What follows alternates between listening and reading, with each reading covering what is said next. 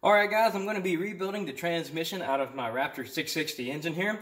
I'm going to be taking apart the drive axle, the main axle, and the counter axle. Along with, at the end of the video, I will be showing how to put it back in the case if that's all you're wanting to see. So I'm going to get to it.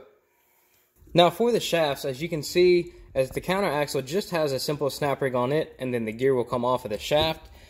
For the drive axle, all of these are not pressed on, but you will have a couple of snap rings on there, so it's best to have some snap ring pliers with you of different sizes just in case. Along with I have a different one here. I've also used it and it works pretty well of not, you know, losing your grip and the snap ring snaps out of there. And for the drive axle, you're going to need a puller of some sort. That's why I'm going to be using this bearing puller to pull off the reverse pinion because it is pressed on there. And to get it back on, I'm going to be using this press. So just keep that in mind whenever you're going to tear this apart that you're going to need something to be able to pull off that reverse pinion and press it back on. So starting off, I'm going to just go ahead and take off the counter shaft here, which just has the simple snap ring on it. So I'm just going to use some snap ring pliers on it and stick it in the holes and get the snap ring out.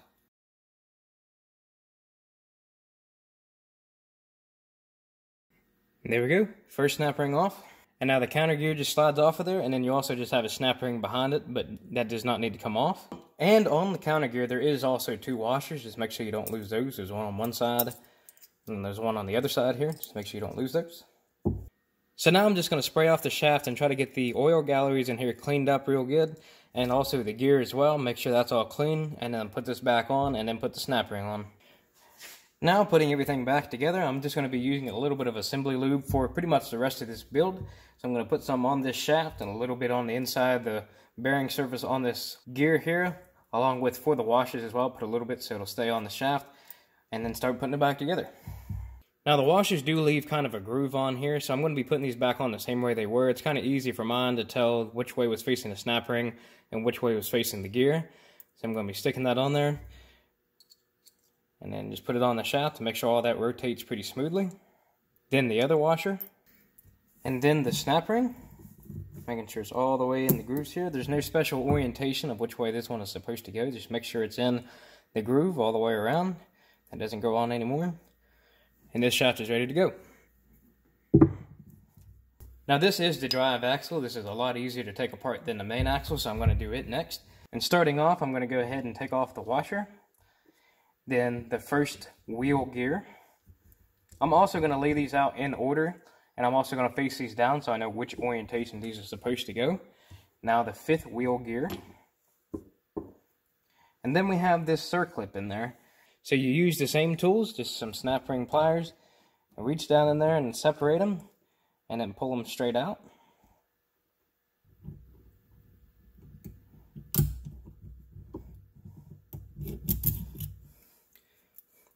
Just like so. And now we have the tooth collar, which is right here. It just kind of looks like an oil gallery. I'll set that off to the side. And now you have the lock washer and a lock retainer in here. So I'm just going to go ahead and pop the washer off there. Grab it and pull it up out of there. I'll lay that off to the side. Then the retainer for it, I'll probably just pull the gear off with it. So, and there's the retainer. I'll set that off to the side. And then you also have the second gear wheel. And then after that, you have another tooth collar on here. Again, looks like a little oil gallery. Then you have another tooth washer. And take that off there. Then you have another circlip on there. Again, I'm going to have to get the snap ring pliers to get this off of here.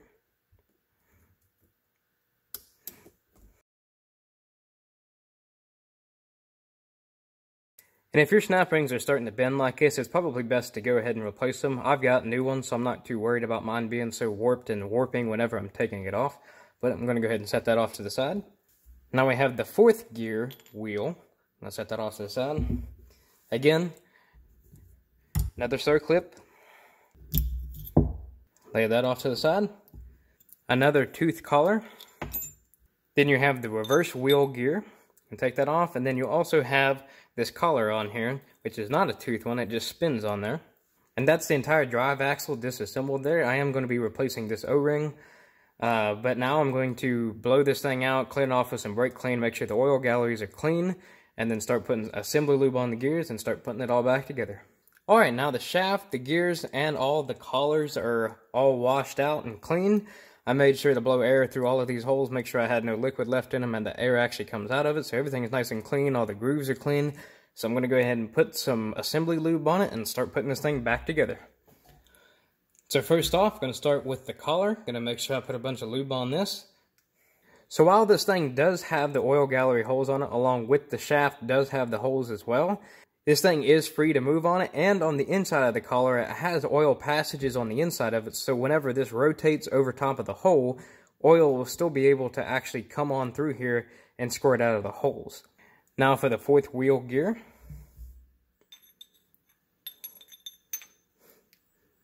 So as I was saying, as this thing rotates, it's going to move the collar with it. So it does not matter where that collar will sit on there, it's going to rotate and it's going to receive the oil that it needs. And then the tooth washer.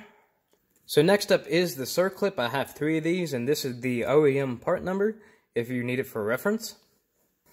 Now before I go ahead and install the snap ring, there is a difference between the snap rings whenever you're trying to put it on. And while it may be impossible to see on camera, but there is a little bit of a shaving on both uh, ends of the snap ring. One side's a sharp end and one side's a dull end. You need to install the snap ring in the position where the sharp end is, away from the tooth washer that you just put on. And also, whenever you're installing it on the axle, you want to make sure the ends of the snap ring are sitting as close as they can to the middle of the splines on here. So with the sharp edge facing outwards, I'm going to go ahead and use my snap ring pliers.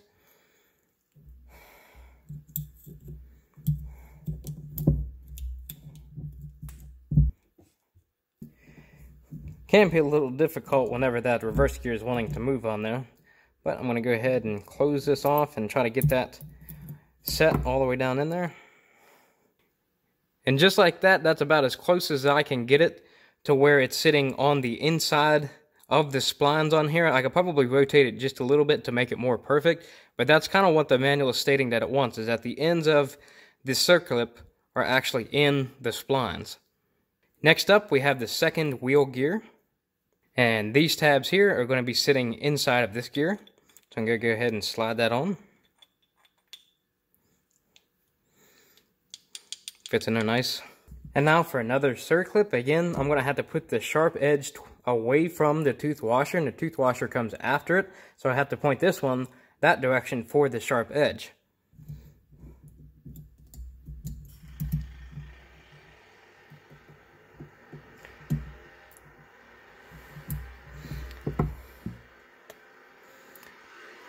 Again, I'm dropping it off with the end of the circlips inside the splines.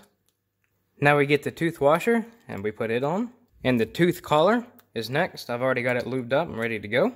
Now for the tooth collars, they do have two holes in them, and there's also a hole that's inside the shaft. I don't have the shaft in the right orientation, but there is a hole in the shaft. You just want to make sure that whenever you're putting the tooth collar on there, that you offset the holes from the hole that's in the shaft, so the oil can travel on the inside there to the journals. So once they hit the journals, they'll actually start squirting everywhere. So just remember that when you put in this uh, tooth collar and the one that actually sits down the line. Now we have the second wheel gear.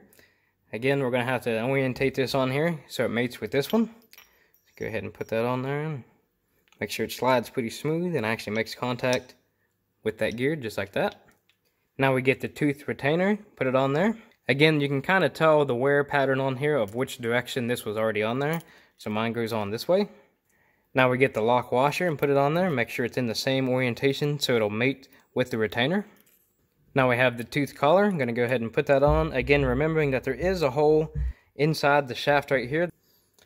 And now for the last snap ring. I honestly do not know if the manual is trying to state that you have to do this for the rest of the washers because the picture in the manual just shows this gear here and then the tooth washer right after it, but I'm still going to follow the orientation that the sharp edge faces the opposite side of the tooth washer. So the sharp edge, since I've already got the tooth washer on there, is going to be facing outwards, so it's going to be facing this way. So again, getting my snap ring pliers. And ensuring I drop it down inside the grooves again. Making sure it's pressed all the way down in there. And mine's not directly lined up with the groove, so I'm just going to go ahead and rotate it just a little bit. Like that. And now for the fifth wheel gear, and this orientation goes in here, again, mating with this gear. Just like that, make sure that actually mates with it like it should. And now we have the first wheel gear. I'm just going to go ahead and make sure I lube that up real good. Again, the orientation has the indentations here, so it mates with this gear on the end. Make sure that that will actually mate with it, like that. And lastly, the washer. And that's the drive axle completed on there. All the gears that are supposed to freely turn do freely turn. The ones that are supposed to shift the gears are shifting the way that they're supposed to and mate with their related gears. So now it's time to move on to the main axle. Now before I go ahead and get started on the main axle here, whenever this is pressed on here, you're supposed to measure the distance between this to make sure that you have the reverse pinion gear on there where the manual tells you to. So you're supposed to measure from just the gear here since there's no tapered part to it. And the reverse pinion does have a little bit of a tapered part. So you're not measuring from that tapered part, you're measuring from the gear itself. And from what mine is reading, mine is actually sitting on the shaft too far, so I'm just going to have to remember that whenever I'm pressing this on here to make sure that it's in spec. Just keep that in mind that you're going to have to measure it after we put this back together. Now to get started, I went ahead and put the main axle in my vise here. I've got really thick microfiber towels on both sides to make sure that I don't score up the shaft. And I'm going to be using the bearing separator here, so I'm going to take this apart, I'm going to sit it up underneath here make sure it's not grabbing the shaft but sitting directly underneath this gear so I can pull the reverse pinion out of here. So I actually ended up using the press because I could not get the vise to stop the shaft from turning and I didn't want to score it up because it kept twisting on it. So I ended up just using the bearing separator uh, to again hold the gear and use the press to press the shaft out. I'm assuming this has never been off on my four-wheeler before because this thing was like stupid tight. But it is off of there now. And now the rest of the shaft is ready for disassembly. Alright, moving along here, we got the fourth pinion gear. It just slides off of the shaft, just like that. Then you have the second and third pinion gear. Just slides off the shaft as well. Then you have a circlip on there. This one actually has the holes in it.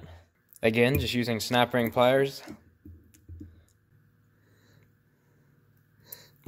Set that off to the side. Now we have a tooth washer on here. Then the fifth pinion gear just slides off there just like that. And then this gear is made to the shaft, so it's not going to come off here. But that's the whole main axle disassembled. So now I'm going to go ahead and get this thing cleaned up, make sure all the journals are all free, make sure all the splines are good, and I'm going to go make sure I clean off all the gears as well. Alright, the main axle is all cleaned up, all the journals are blown out, all the splines are nice and clean, so I'm going to go ahead and put some assembly lube on it and start putting this back together. Alright, starting off, the fifth pinion gear. Just going to go ahead and roll this on here. Just like so. Make sure it turns really good. Then the tooth washer. Then the circlip. Which again, this follows the same rule as the sharp end is supposed to go on the opposite side of wherever the tooth washer is. Now, since this circlip is just a little different than the drive axle, you still want to attempt to get the ends inside the splines. As you can see, that's about the best that I can get, that they're both just barely inside the splines, so I'm just going to go with it. Now the second and third pinion gear with the circles facing towards the end of the shaft. So this one is going towards the gear that's already on and it'll mate just like that. And now the fourth pinion gear, which orientates like this. And it just sits on there just like that, so whenever this shifts over, it'll mate with that gear. And lastly, we have the reverse pinion gear. And since this one is actually supposed to move with the shaft, and you have to press it on, I'm going to clean off the lube that's on the tapered part of the shaft, and go over to the press and get this pressed on. So for my press setup here, obviously this doesn't look like the safest method, but this is all I've got. I've got the clutch basket nut on the bottom of it to make sure that I don't mushroom out the threads on the bottom of it. And then I also have a socket on the top of it so it makes sure it clears the shaft whenever I start pressing it on. And I'm just gonna go slow and just check it every now and then because remember, you're gonna have to measure this from this gear to the bottom gear to make sure it's in spec with the manual. And after numerous attempts, I finally got it to be in spec. It's sitting on there a little loose, But uh, after I tighten it up, it sits at about 4.55 inches, which is right where the manual says it should be. So that's the end of the main axle. I'm going to go ahead and get the case cleaned up and start putting these gears in. Alright, now it's time to go ahead and start putting the transmission back together inside the case. I've got all the seals replaced on the other side of this case and all the bearings are lubed up and ready to go. So starting off, I'm going to go ahead and put in the counter axle here. There is an orientation that it needs to go because of this shaft design here inside the case as well. So just make sure you line that up when you put it in. And the gear should be able to move freely, but the shaft should not. Next is the drive shaft. I've already got the new O-ring on there and I've already oiled up this and the bearing. So I'm going to go ahead and just push this in.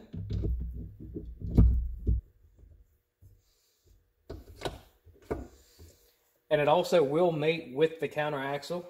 And lastly is the main axle here. And whenever you're putting this in, I find it easier to take off this last gear and the washer first. So you can stick this down in here without that gear being in the way.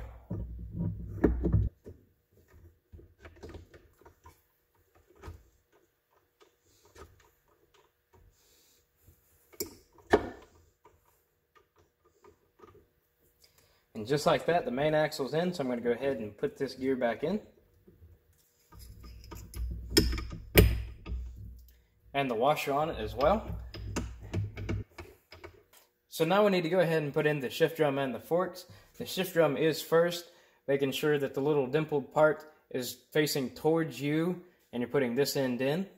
So you go ahead and put that in there, make sure that spins freely in there. And then for the shaft, I'm going to go ahead and lube it up. Next, we need to go ahead and install the shift fork labeled L. When you're looking inside the transmission, you should see some grooves back in there. I'm just going to slide the fork in there and go ahead and get it in the grooves. And you may have to rotate the shift drum while you're doing this so it'll actually sit inside the grooves. And grab the fork that's labeled R. And then install it in the second groove that's closer up here just like that.